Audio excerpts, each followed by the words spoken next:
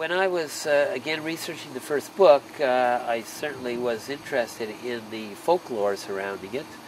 Um, Helen Creighton, of course, is a famous uh, uh, folklorist in, in, in, Nova Scotia, and had uh, several, in, in, a couple of her books, had written accounts of people seeing strange lights at night on Oak Island.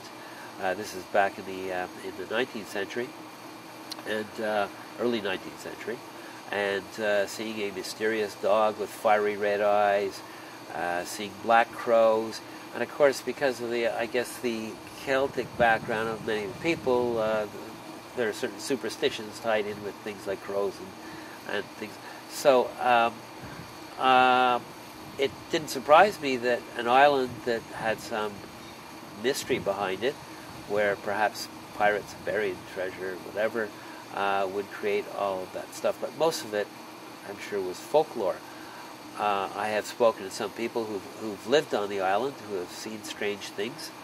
Um, and uh, uh one person who lived on the island for 21 years uh, uh, actually went quite mad one night and left the island, and he, he has been back since but uh, he saw strange things under it or felt that there were ghosts under the island.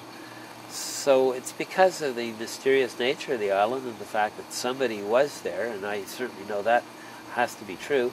Someone was there uh, hundreds of years ago and did something, uh, uh an engineering feat, which is quite amazing, and presumed to hide something. That certainly would give rise to all kinds of mythology.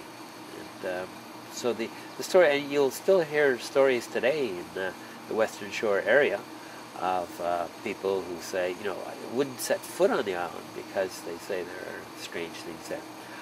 I once, uh, when I was living in this area, uh, walked across the island in the dark uh, in a fog once, and I started getting spooked myself, hearing strange noises and fluttering things and so on. Um, so uh, at night, you know, when the wind's going through the trees, and you know the story behind the island, and that there were people uh, perhaps uh, who died burying the stretcher on the island, it's pretty easy to get spooked.